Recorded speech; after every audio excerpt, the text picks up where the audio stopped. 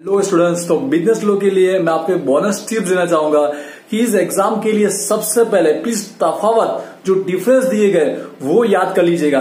Unit number one में से भी जो दिए गए यूनिट नंबर टू में से और यूनिट नंबर फोर में से जितने भी डिफरेंस दिए गए प्लीज़ सबसे पहले उसे रीड कीजिएगा।